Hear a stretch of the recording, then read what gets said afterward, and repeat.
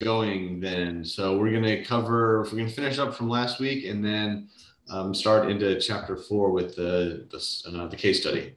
Sure. So. Uh, so let me um, share my screen.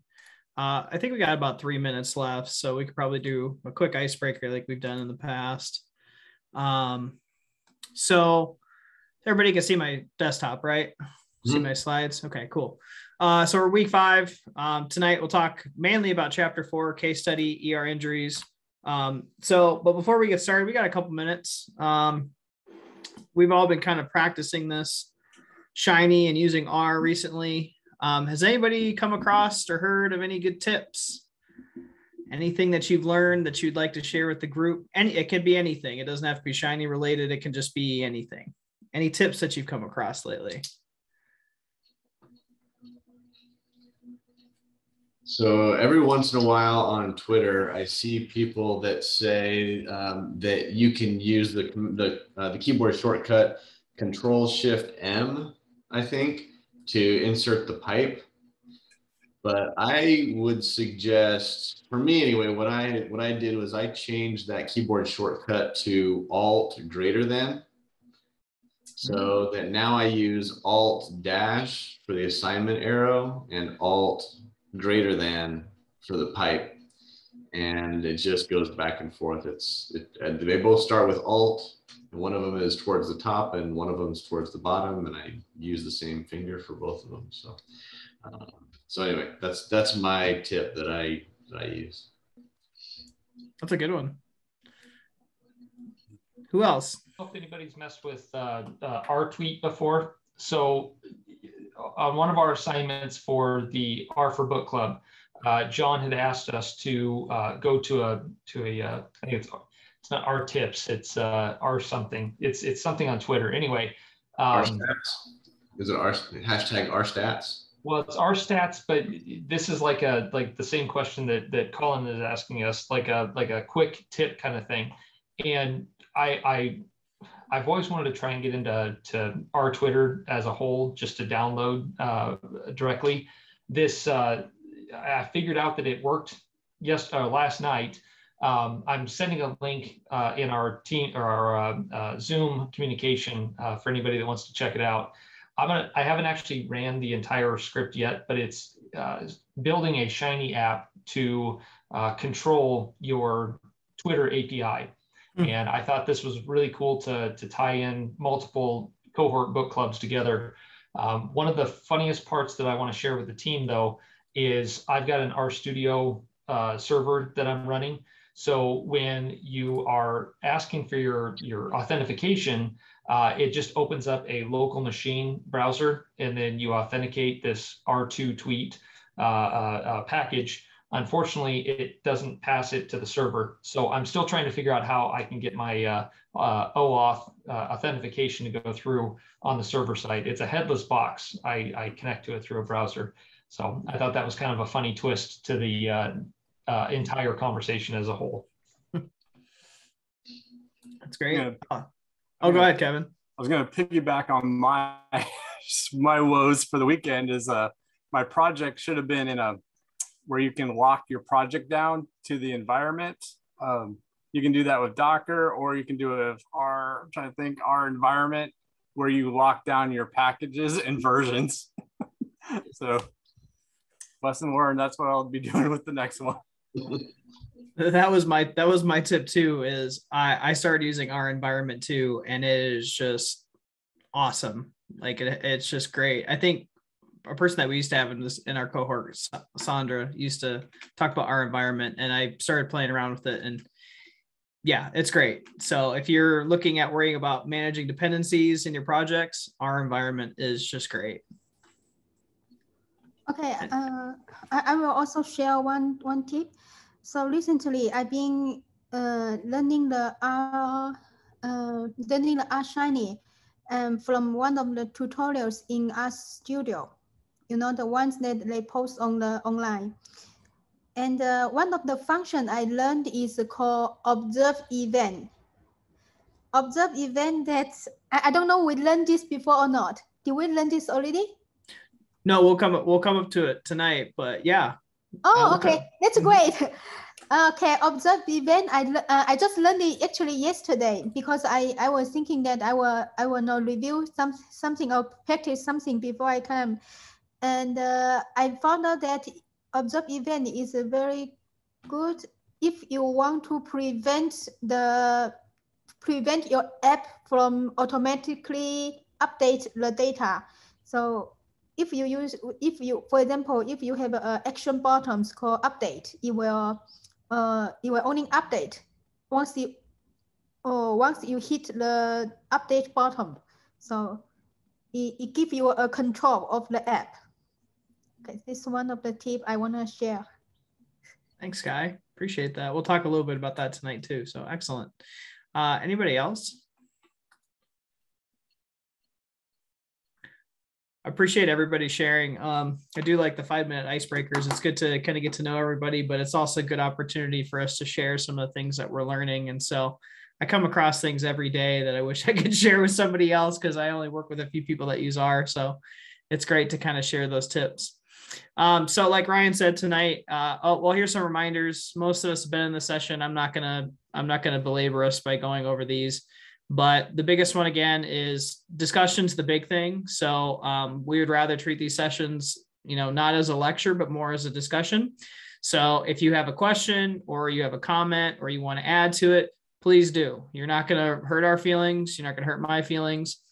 And it's just the best way that we all learn. And so um, please jump in whenever you, whenever you, whenever you want to. Uh, so, like Ryan said tonight, we'll finish chapter three talking about basic reactivity. That includes uh, digging a little bit deeper into reactive expressions. We'll wrap up with observers. It'll probably take us about 10, 15 minutes to get through that material. And then Ryan's going to start talking about chapter four case studies, ER injuries. And then we can have a little discussion about week number number five coming up next, what we want to do. So let's kind of dive right into where we were at last time. Uh, we were talking about reactive expressions, and we were really discussing that reactive expressions are great as a tool to reduce duplication. And so we use this not only to reduce duplication, but we also do this to um, simplify our reactive graph, as well as reduce the amount of redundant code and recomputation that we have to do. And so how we do that is we use this function called reactive. And so anytime that you're going to create a reactive expression, you have to use reactive so that you're uh, creating a reactive context to take in those inputs. Now, the book, I, I reread the chapter earlier this week, and I, I remember reading about looking at and seeing that two of the common ways to kind of meet these goals of reducing duplication and reducing uh, uh, being more efficient at removing redundant code in an R script would be trying to write a function or to assign a variable. However, that's not going to work in a Shiny context because it requires a reactive context to actually work. And so the only way that we can, I shouldn't say the only way, because you can use a function, but it doesn't work as well as the reactive function itself to create that reactive context. So uh, go ahead. Somebody have a question? I thought somebody was jumping in. Oh, sorry. So reactive expressions uh, have a flavor of both inputs and outputs. So like inputs, you can use the results of a reactive expression in an output and like outputs, reactive expressions depend on inputs and automatically know when they need updating. And so um, with reactive expressions, they're robust enough to know when things are changing within the app. And so when the user changes some type of input, it's going to change. Uh, it's going to either change our output that we're going to have pushed to the actual UI. So the book kind of discusses this difference between producers and consumers because now we've added a new element to our reactive graph, which is the reactive expressions. And so before we were just talking about inputs and outputs, but now because we've added this element of expression, we have to add a little bit more. Um, we have to add some more vocab to our toolbox here. So the first one is being producers. Producers refer to reactive inputs and expressions. And then we have the other element, which is consumers. And consumers refer to reactive expressions and outputs. Now, the reason why we use this as producers is because they send information out. And then we use consumers because they take information in. And you can see reactive expressions is both a consumer and a producer. Out inputs are producers because they send information, only send information out. Outputs are consumers because they only take information in. Now, what I really highly suggest, like looking over the app example that the book has in chapter three, because I think it really does a good job of expressing, you know, this difference between producers and consumers, and um, producers and consumers, and also understanding how reactive gra- or how reactive expressions fit within that.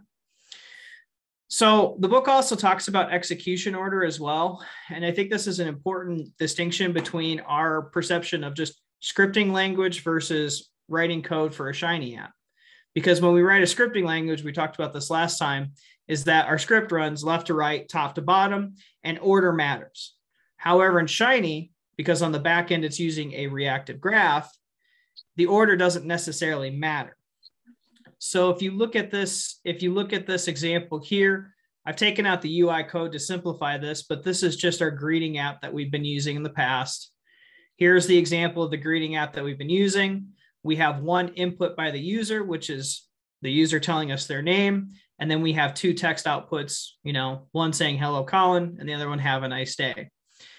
And so now with this execution order, what matters, what, it doesn't matter uh, how the reactive expression is put within the server function. So when we look at this, we would think that because render text comes before the reactive expression, that this wouldn't work. However, this does work in um, in Shiny because it's using on the back end that reactive graph to tell us how do things actually work. And so going back when you think about when you think about putting your apps together, is really think about what does your code or how does your code create that reactive graph? Or let me put it another way to be more clear is think about how your code gets visualized in the reactive graph. So if we take this code here and we actually visualize it within this reactive graph here again our input our reactive expression and our output we could see that this is the execution order for that and again just because it's out of order in our code doesn't necessarily mean it's going to affect that reactive graph on the back end of it. Uh, can anybody tell me the book does discuss an issue with this though? Well, and I kind of gave you the answer here, but what's the issue with this though? Yes, it does work, but what's the issue if you write your code like this?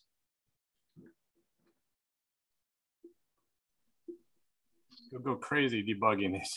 It's the first thing yeah, they're hard to read, right? They're hard to read because naturally, you know, if you think about people who just normally use just R coding for a scripting language rather than thinking about the actual Shiny, how Shiny actually works on the back end, people would expect that your reactive expression comes before your actual output comes first.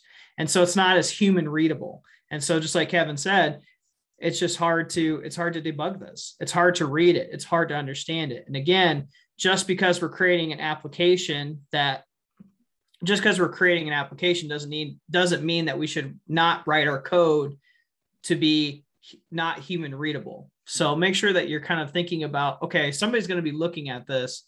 So take that into consideration when you're putting this together. So the book also talks about different ways to kind of control the timing about of evaluation.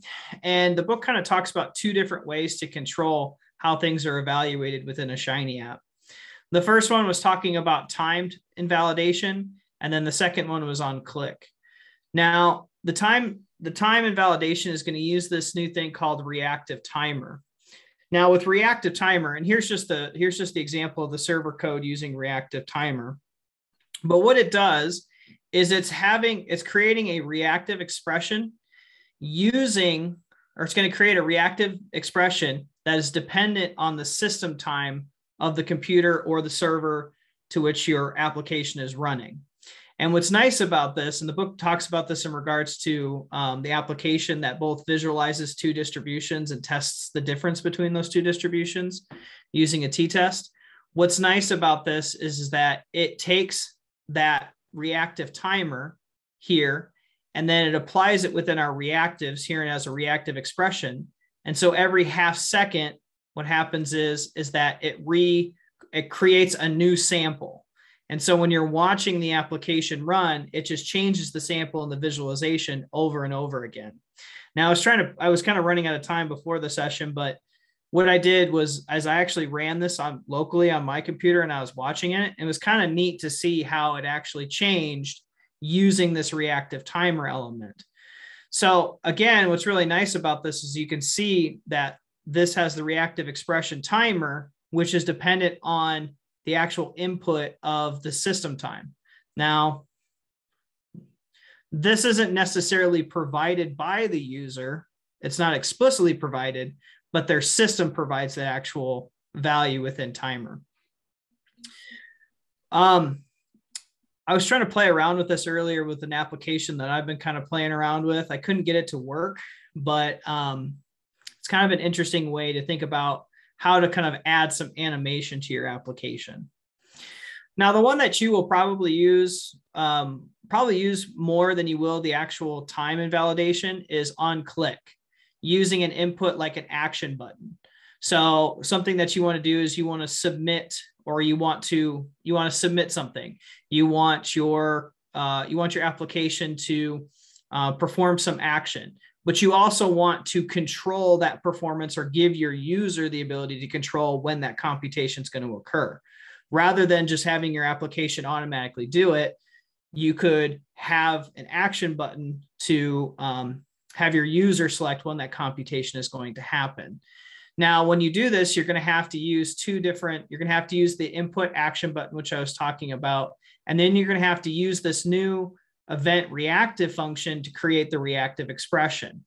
And what's nice, and the thing about event reactives is it takes two different, it takes two different, I'm going to call them arguments. It's going to take your input action, so your input simulate, and then it's going to take your function that you want to run as a result of that event. So this action will not occur until you actually have that input take place. And so in our case with that application that um, was shared within the book, the user actually has to hit the, um, I think it's called simulate, the simulate button to actually occur within it. Okay. Now, what's nice about this is what the diagram is, is that now, X1 and X2, which were the actual, um, which were the sample creation that the book was talking about, it's dependent on simulate rather than the Lambda 1 and in Lambda 2. So before any of this computation takes place, the user needs to hit simulate. Once it hits simulate, then X1 and X2 um, computes computes the uh, distribution using Lambda 1 and in Lambda 2. Now, I know I'm kind of going over this quickly. I wanted to share the example with you, but I do want to give Ryan some time to look at it. But I do highly, highly, highly suggest look at that application in, the book, that example, because it really does do a good job of describing okay, how do you use time invalidation and how do you use on click to actually um, give your user the control to control computation. So, what questions do you have so far about um, time invalidation or on click. You mentioned that the the click button has two two arguments. One is input, and then the name of the item, and then the second argument is just the action to, to take, the function to execute when the buttons click. That's the way I read it. Is it's going to take the expression that you want to perform. So you obviously have the input, right? So event reactive is, is waiting for you to actually click the action button. And then the second part, and I'm going to call this the second argument, I'm using this terminology kind of loosely here, is the action or the function that's going to be performed as a result of this action. Yeah. Is that clear? Yeah. Cool. Again, I'm using I'm using terminology kind of loosely here because I'm still kind of learning this and wrapping my mind around it. So if I am saying something incorrectly, somebody please correct me. Um, what other questions can I answer for you? I, I think I think really event reactives. When I was looking at this, I think event reactives are going to be really important because again, it gives you more control or it gives your user more control on the type of computation they want to perform. And so I have a feeling that pretty much I have a feeling that I shouldn't say any application, but more likely than not, some of your applications are probably going to use an event reactive if you're going to give your user the ability to control when things are actually going to happen. Um, the book also talks about, and I'm not going to spend too much time because it's going to talk about it later, I think in chapter 15, but it was really kind of cool in the example to see how the computation of these two distributions was taken out of the server function and was created into its own separate function. And so the book kind of really talks about that when you're writing a good, when you're writing good, shiny application code, you really want to take that computation out of it. You don't want your server function bogged down running a lot of computation. Because if you do that, it's going to be a very slow experience for your users. I'm not going to spend too much time talking about it tonight because we're going to talk about it later in chapter 15. But I thought that was kind of a very, very like powerful concept that I never really thought about. And so it's something that we'll come back to. So the last thing that we'll discuss is observers. And so we talked a little bit about this last time was observers are um, is a function that we can use anytime we want to make a call or we want to do something outside of the application. So the book talks about things like saving a file to a shared drive, sending data to an API, updating a database, printing debugging messages. This is where we're going to use those observer observer observe events. And so these observers, we use observe event to actually do this. And so I kind of put this little diagram together to think about potentially ways to kind of think about this because the book still uses this di it still uses these symbols for observers and it considers them to be outputs which they are. They're outputs outside of our application. But what's important to know about observers is that they're not intended to make any changes to the UI and so, and I say that kind of loosely because I don't have a lot of experience with it, but I, I was kind of thinking of ways that you might, where observers might influence the UI, but that might be like an edge case that I really don't know or can necessarily explain. But really, high level, what the book was talking about is that these observer functions, they're intended to do things outside of the application.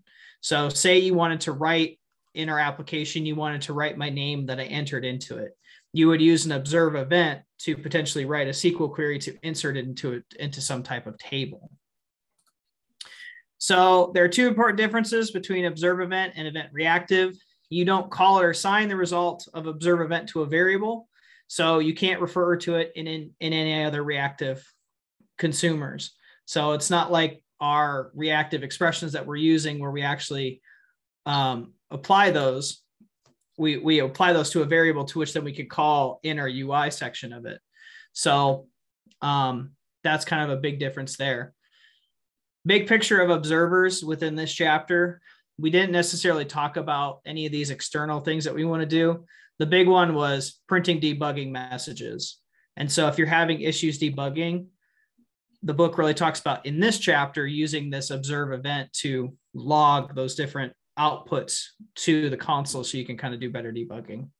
So, and that's chapter three, right at about 15 minutes.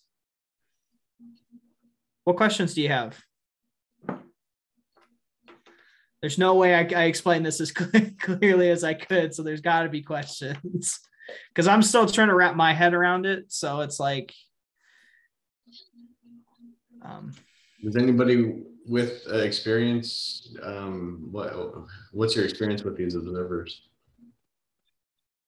I can add to the to the one comment about debugging. So I made a statement a couple of weeks ago. Uh, we were talking about error handling, and a lot of the times when you're just reliant on the uh, base operating system or the or the service that you're running, sometimes the the the output of a of an error is very not very helpful uh, by managing those errors and and and writing uh, I don't know breadcrumbs for yourself or as a debugging service, you can go in and, and start catching when uh, error occurs because it may be outside of, of what you would normally be in control of.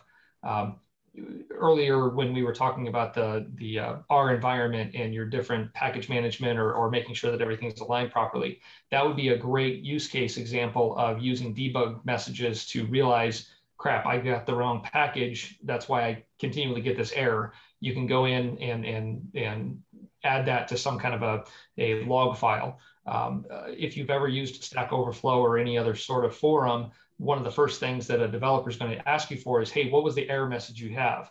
Well, they want to know what version that you're using of a package. They want to know what the error message is so they can help you uh, debug or, or, or, I don't know, correct whatever error is happening. Does that help? Uh, well, I think that's, I mean, I think that's an interesting point with these observers was like, I think the biggest pain point of learning Shiny for me was it's hard to see like what's getting created because I go back to that, like I'm used to that scripting part. You know, yes. I can see what a variable looks like. It's hard for me to see what a reactive or what the what the output of a reactive expression is. Right. And so that's always been the hardest thing for me. And now on top of it, you have to add this, and this is going beyond this chapter. But like if you're doing like computation of like filtering or aggregating certain numbers together, it's hard to see that object that you're creating like in between in that reactive expression, even though you're supposed to, according to the book, take that computation outside of the server. And so that's just always been the biggest pain point for me. And, and I was messing around with an app, and that's where these observer uh, observe event came in is because I was able to print, okay, here's what the Tibble looks like from your reactive expression. Well, I wanted to add one more comment, and it goes back to a, a, a statement you made a moment ago.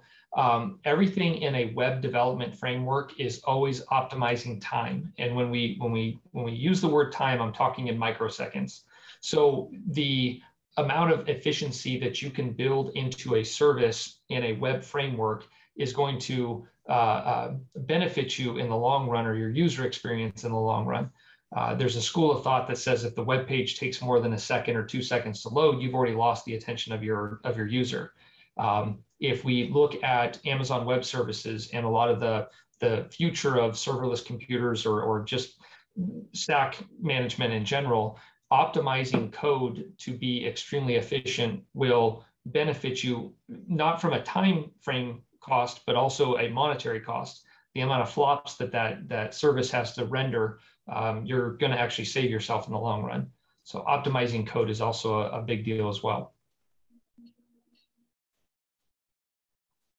Observers can be, I was going to say, observers can be a little really tricky. I had the worst time with it, and I realized that um, I was trying to do an update to a list to a drop down based on an observer. I I wouldn't recommend it in a complex app. I really should have been using a button to have them update rather than an observer. So that was my experience with observers is that they're really tricky to get a handle on if you're trying to do something a little bit too complex. I was trying to have it like if you click on this observe, you click on this drop down, and then based on what you picked, it was supposed to update another input. It didn't work. So I really just need to have a button. I was trying to avoid them having to press the button, but that's gonna how it's gonna have to be. Excellent. Uh, what other questions or comments does anybody have about chapter three?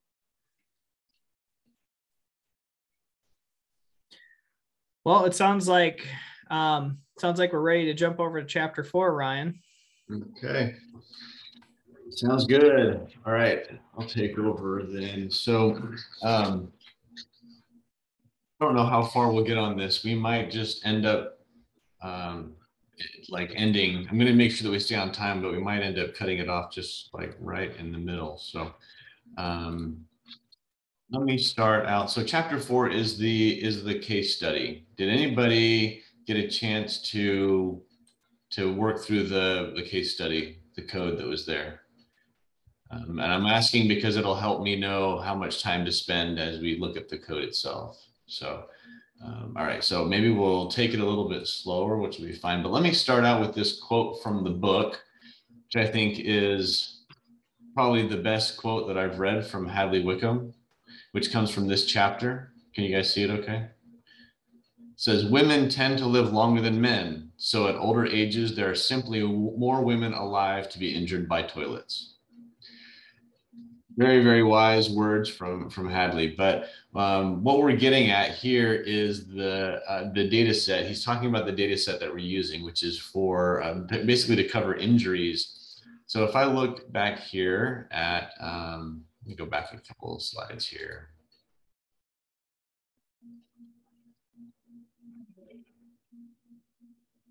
So we're going to be talking about um, ER injuries. And the idea here is to build a more complex Shiny app and to use some of the things that we've been studying so far.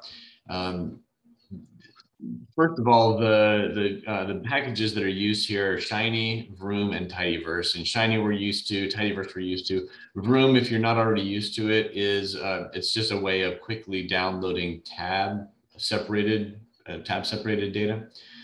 So if you want to follow along, um, go ahead and you can load these three packages in there. And then we'll use those to extract the data set. So we'll be looking at, uh, data from the National Electronic Injury Surveillance System, which covers accidents reported from a sample of hospitals in the US, right? And so we've got uh, in the data set, there's, there's actually three data sets. There's one called injuries, one called products, and one called, uh, called population. Okay, so the injuries one really just downloads in information, injury information, has date, age of a patient, sex, race, body part, diagnosis, location, product code, weight, and then there's uh, one more variable called narrative. Okay. So you get the idea here that someone reports to the emergency room and complains of some kind of ailment, and they log that information here. Right? Um, the second product, the second table here is called products, and that's just really a lookup off of this product code. So it tells you what 1807 means, what 676 means, 649, and so on. Um, and then there's population data, which allows you to, uh, they use it to extrapolate the, the incidents that would occur in the general US population based off of a small sample of, of what you get here in the injuries. All right. Everybody good so far? All right, so if you want to follow along, um, I am, I'm just gonna load these in. You can watch in the, in the screen here. So we'll load Shiny, load vroom, and we'll load Tidyverse. Just takes a second. And then there's these commands here to actually download the data, and I don't know them super well, but if we run all of these, we'll get that data downloaded. Just a second. Okay. And then we'll actually assign these to objects. So injuries, and we can see the, the injuries data as we were looking at it before um, just in a different format, obviously. And then we didn't get to see a second ago, we didn't get to see the narrative, but you get the idea of what it is. It's, it's a very short description of what actually happened. Um, and uh, these actually, these are kind of fun to read through. Um, now, some of them um, reflect, um, say, and some of them occurred because of uh, like mental illness and the the the effects of age, and there's really nothing to laugh at about those. Um, some of them are they just have a slapstick element in it, and for better or for worse, that appeals to me. So I did find myself laughing at, at a few of these, but we'll get into them. So all right, so that is injuries. Um, we'll also do products, and we'll do population. All right. Okay, so that covers loading the data in. And now we move on to exploration. Okay. So Hadley decides to start looking, first of all, at accidents related to toilets.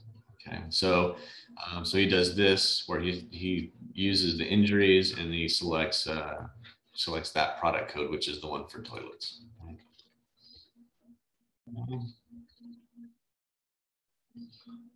you can see there's a fair amount of, there's some data around there. So then um, he continues to explore using certain variables, like he to look at this data using location by body part and by diagnosis. So here you can see um, location where these injuries take place.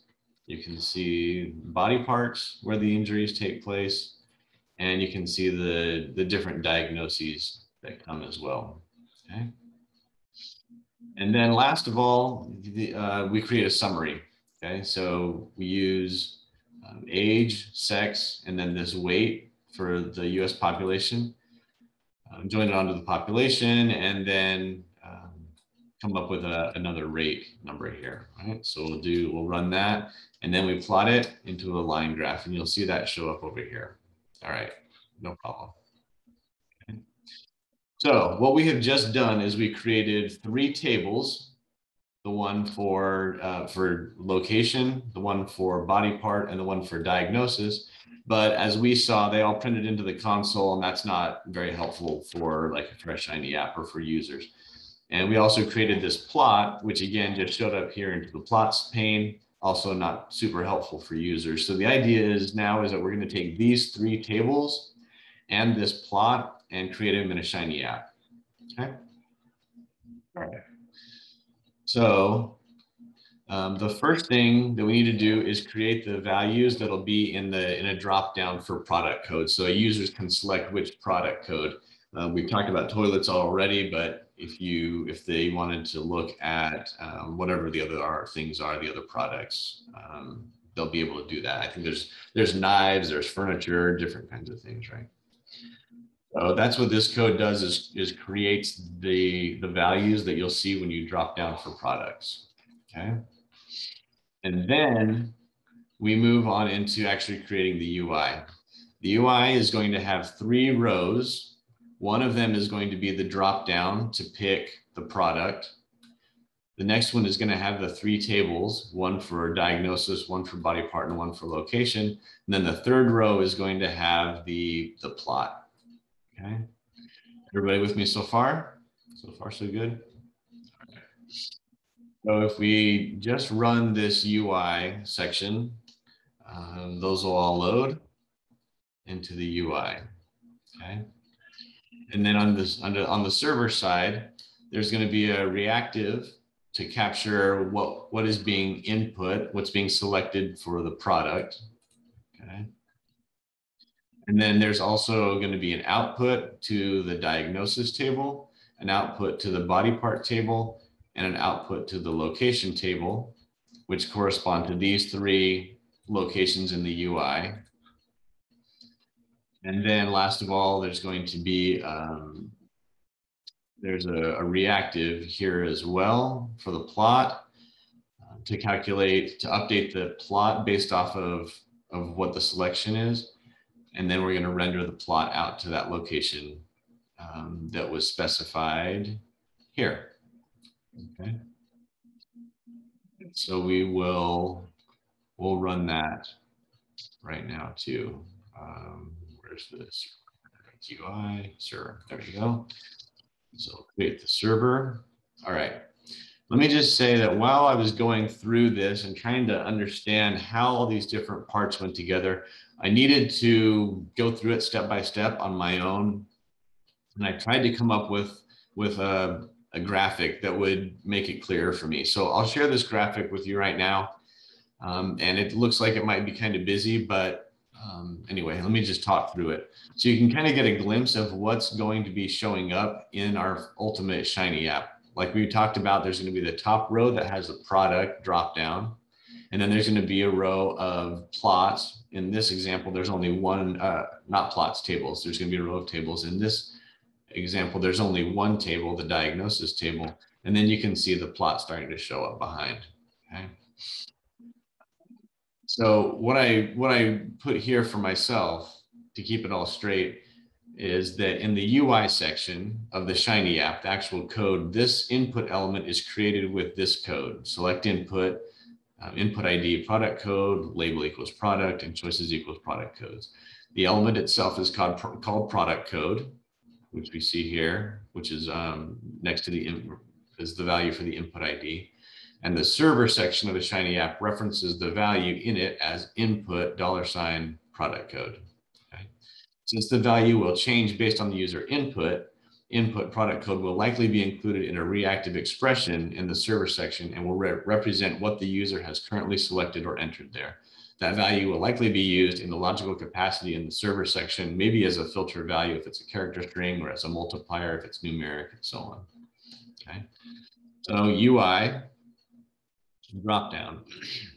Then moving on to this table, this element is also created in the UI section, but for output. It is essentially a placeholder for a table that will be generated in the server section. This output table element is called diag and is created with table output, output ID, diag. The server will process data using the UI's inputs, generate a table of results, and place the rendered table here. The server references this element in the UI as output dollar sign diag.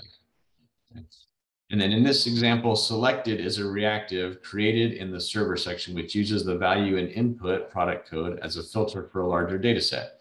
Since the data set injuries needs to be filtered by the user selected value in input product code, the reactive selected holds input product code's value and modifies injuries appropriately as the user changes selections. Each time the user modifies the input using input product code, the reactive object selected also updates. And then there's the code for creating that, uh, um, that reactive. And then lastly, once the reactive object selected modifies the injuries database based on user input, separate code renders that modified data set into a table and loads it to the designated placeholder in the UI, namely output diag. And then there's the code for that. So then to summarize it all here, I've got create an input UI element called product code. Its value as determined by the user is referenced that way. Then create an output UI element that will display the results generated by the server. This output placeholder is referenced as output diag. And then number three, create a reactive expression that incorporates input product code into an operation. This reactive expression is called selected. And then assign the reactive expression object to an output object in the UI. This reactive expression, the one called selected, is assigned to output diag created in step two. When assigning to an output object, the reactive expression name needs parentheses, selected parentheses. All right. So I think generally everybody on this call has a lot more experience than I do with this, but what it what I needed to do was go through and think about how all these different parts fit together. And I think I finally got my mind around it where there there's in this case just one input on part of the UI, but then there's a placeholder for the table this input, because it's going to be changing and that matters, is going to go into a reactive expression on the server part uh, of the code. And then after the output, after the after the the out after the server processes output using the reactive expression, it goes into this output location that was specified in the UI as well. So anyway, that was it. That was what helped me. Um, it might be a good time to stop and see if anybody has any questions on this. It's good to kind of walk through this. Um, the one thing that helped me kind of go through this was actually going through the code and creating the reactive graph. And I think that um, just kind of doing the reactive graph kind of shows you how things are all connected because it's like everything's, I should say everything, but mostly pretty much all of your outputs are connected to your inputs in some way. And so it's kind of nice to go through and see like just walking through and saying like okay, where's all my inputs? Label all my inputs. What are my outputs? Label the outputs. Are there any reactive expressions? And so um, just kind of how you kind of walk through this Ryan is kind of helpful because you kind of helps kind of see how things are connected. And I think that's really kind of important is knowing okay, how one thing is connected to the other and how that connection based on user input is going to influence the actual output. Yeah. Yeah, I mean, it was helpful for me to finally make the connection. I, I couldn't quite get my mind around what you create first and what what all the different things mean and how do you refer to them, but uh, but it started to settle in for me. So, anybody else? All right. Okay, cool. So then the next uh, part that we go into, we've done the exploration. Now we start to build the prototype of the app. Okay. Um, we actually covered a lot of this too, how the UI is built, these different sections of the UI, the code on the server side as well. And so if we run that, cross our fingers.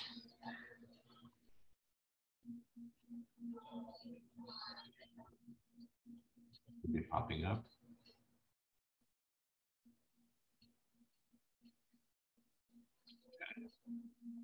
Okay.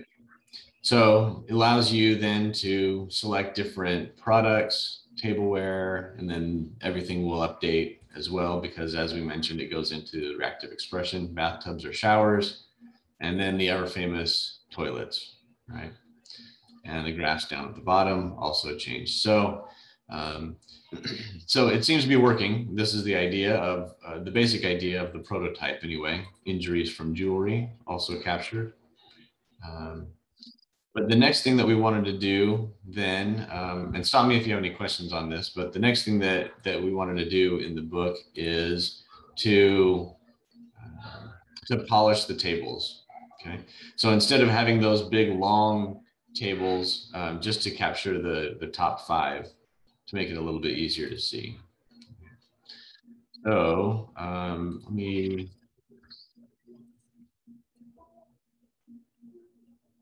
output number five. So if we um, uncomment that, uncomment that.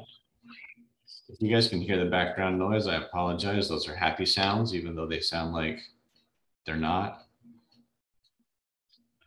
All right, so that makes the changes then. So we, the, the change here under 4.5 um, is to, it makes the, the width a little bit wider for the tables um, I thought there was a part here that reduced it to just five.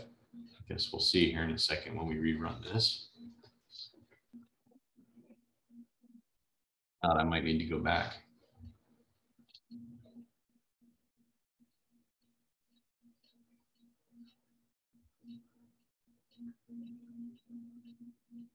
Good.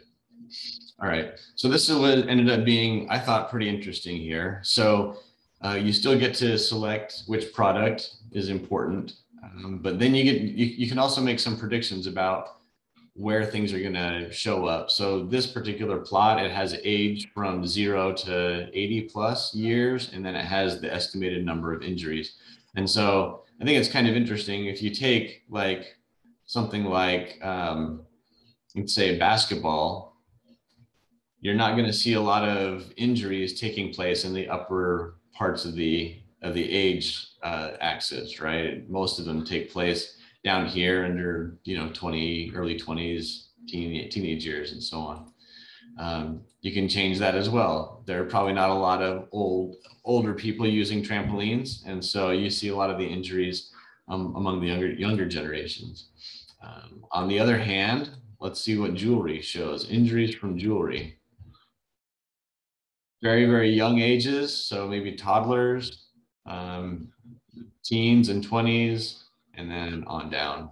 Nothing, nothing in the uh, in the older ages. Uh, on the other hand, stairs or steps, this you might see. Well, what, what would you expect to see here? If you're me, you're probably going to see some of the older ages, and then you're probably going to see quite a few toddlers yeah. as well and wouldn't you know it? So a lot of toddlers, and then uh, over the ages, I guess it was pretty ended up being pretty consistent. And then naturally, we we have to look at toilets. Toilets tend to be particularly dangerous, at least in using this data for, for people of advanced age. Um, and you can see also that, that it distinguishes male and female here and the, the female pop population tends to be higher than the male population at these ages. And it goes back to what Hadley taught us at the beginning of the section that probably the reason is that women live longer and therefore there are just more women alive to be injured by toilets. Are there any other ones that you guys wanted to, to look at real quick?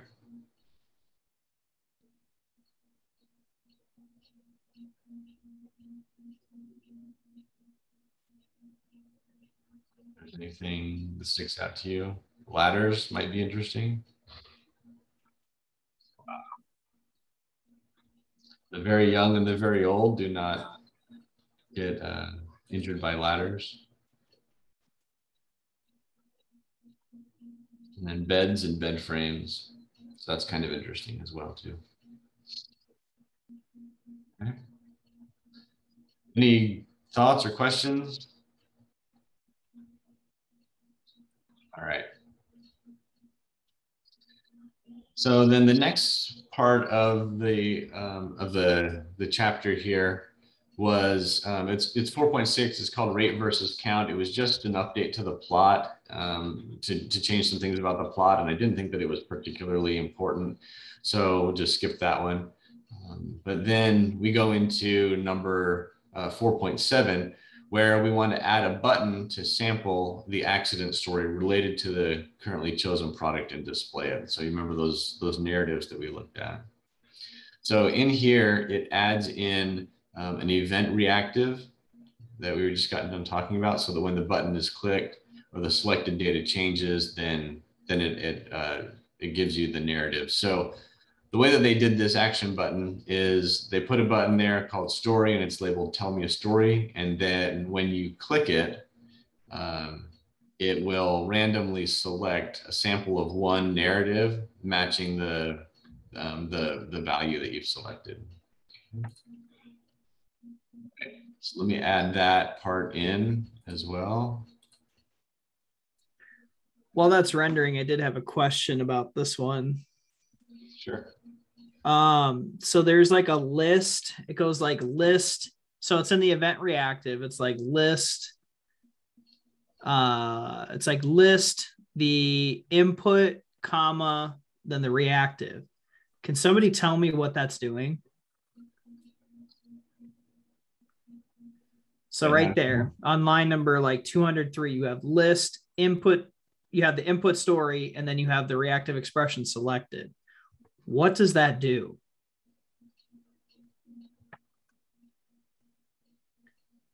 It's because I think the selected is the reactive of the filter, right? Right. Yeah. So so it's selecting the the the so when you select the category of product, so it's matching up the story with the product, right? Right. Yeah, so let me find the reactive. So here's the reactive. Filter the product based off of what's been selected in the code. Right? Mm-hmm. So I guess what's throwing me off is what's the list function doing in that case?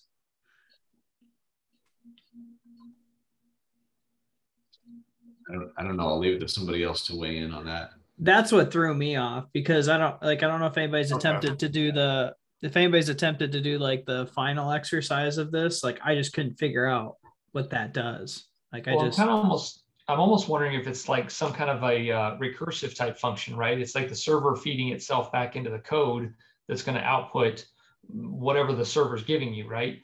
So it's it's not sorting the list, but it's it's saying whatever the user selected select that and also whatever other function or whatever other uh, uh, lookup that it's making within the, the data frame. Does that make sense? No, that makes sense. The recursive side of it is when you start to feed code back into itself. Uh, it's it's nothing that the the user is going to experience, but the uh, the object-oriented programming, you start to uh, create additional uh, threads or uh, additional calculations inside the, the, the function call itself. Maybe I'm interpreting it incorrectly too. No, I just, I, will be honest. Like when I first looked at this, I was like, I have no idea what this does. So, um, I think I kind of understand it. Like I looked up what that list function does, and it says it's it's functions to construct, coerce, and check for both kinds of R lists. So is it like I'm wondering if it's a is it like a test to make sure that it is a list? Well, it, wouldn't it be creating a list? Oh, it could be construct, yeah, because functions yeah. to construct.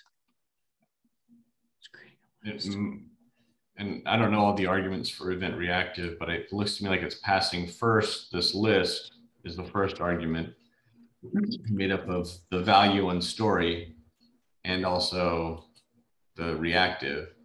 And then the second argument is the the sample. I think you're right. I think I remember what when Kevin was saying is it's creating the list. It's creating the list based off of our reactive, which was the selective, but it's also being controlled by the user input of that action button. And so the action button gets hit, then it creates the selected as a list and then it pulls the narrative from that list. That's what I'm guessing. That's the way that's the mental model that I have right now.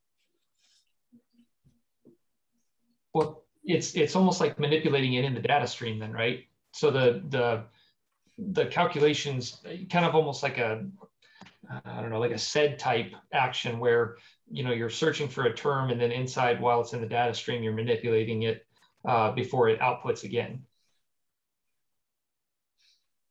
Maybe, maybe, maybe. I don't know. Maybe I'll have to put that out. I mean, like that's what I'm seeing in my head, but that's just the one thing that confused me about this is I just know I have no idea what that's doing. Because in the examples of the in the book, it's like event reactive is just waiting for like it's waiting for an action to happen in that first like argument of it. But that doesn't look like an, an action. That looks like, well, it's it is an action, but it's not like the action in, in the sense that I'm thinking. Would it be could you add an observer inside that that call then and maybe get some debugging output to see exactly what the what the stream is doing? You might, and that's where I got kind of stuck with some of the exercises was figuring out how to create and observe uh, an observe observe event to actually see what that output is. Yeah, yeah. Anyways, I sidetracked us there, but no, that's, that's my fine. question that I have. Maybe we can. That might be something that we can explore when we start next week is we can try to you know deconstruct this and add in the observers that, that everybody's talking about. Um, in any case, um, I'll. This was this was the end of the of the instruction there. So um, you get to pick what what uh, what what product you like, and you can click on you know read me a story, tell me a story you can see, oh, this is, looks troubling. 10 month old male crawling on carpet knocked over a cup of liquid nitrogen. It's spilled on part of the leg. That's might be the only time that children and liquid nitrogen work together. Trip on bathroom rug. Anyway. Uh, again, some, some of these are, are pretty tragic, uh, and, and my heart goes out to those people um, others are a little funnier. Um, our time is up here, so let me maybe we can fix we can pick this up when we start next week. Uh, we'll talk about this thing, this this section here that that we uh, were talking about, and then there's one last, I guess, exercise that I thought I would advance, which was to be able to add in uh, a different a drop down so that you can see the product and the body part at the same time. You can select by product and you can select by body part.